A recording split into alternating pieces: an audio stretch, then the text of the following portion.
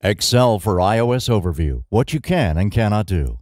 Introduction This tutorial serves as an introductory guide to Excel for iOS, with special focus in the available functions of the mobile version in contrast with the original software. Excel for iOS is now available for free at the iTunes Store.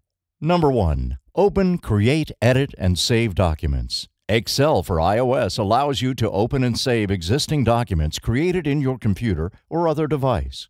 These files can be retrieved and stored either locally or using cloud storage, as iCloud, Dropbox, or OneDrive. Then you will be able to edit the individual cells, just as in the full desktop version.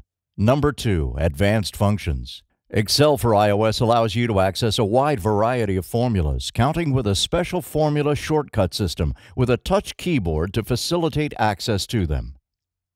The data can be filtered and customized, including adjusting columns, rows, and text.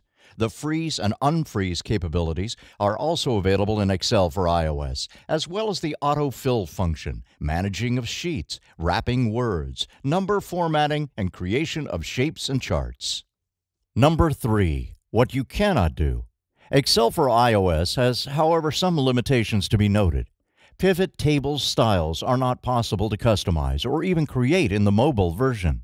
The same goes for custom colors to shapes and WordArt's data customization and creation.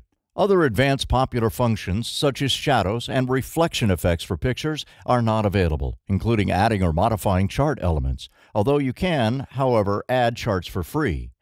Naming cells or ranges is also not allowed, as well as creating conditional formatting rules or entering array formulas.